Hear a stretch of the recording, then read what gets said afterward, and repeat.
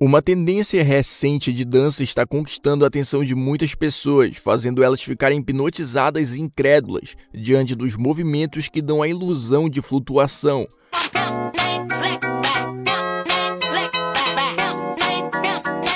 Além disso, a música envolvente está vinculada a um personagem, que também foi incorporado na coreografia. Conhecida como Jube Slide, essa dança não é novidade em 2023, pois foi criada no início de 2022 pelo dançarino e TikTok Jube Tufai. Seu movimento consiste em deslizar suavemente pelo chão, lembrando um walk lateral. A popularidade da dança explodiu no final de 2023, se transformando em um desafio de dança global, onde as pessoas adaptaram a dança original ao ritmo da música Pimp Named Slickback.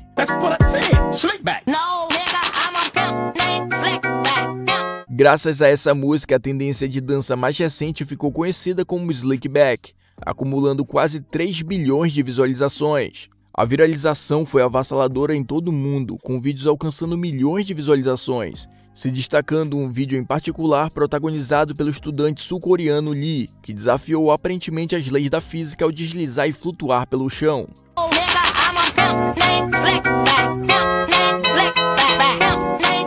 Desde o envio em outubro, o vídeo de Lee já ultrapassou a marca de 200 milhões de visualizações, enquanto seu outro vídeo passou de 100 milhões.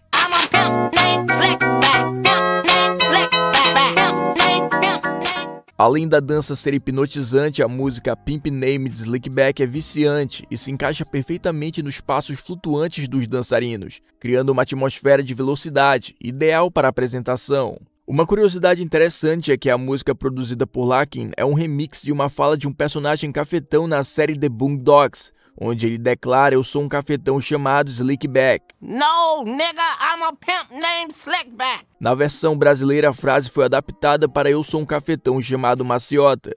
Não, negrão, eu sou um cafetão chamado Maciota. É por esse motivo que tem surgido vídeos virais de pessoas vestidas como cafetão chamado Maciota. O sucesso da tendência foi tão grande que até personagens da cultura pop como a Pomni não resistiram e tentaram deslizar.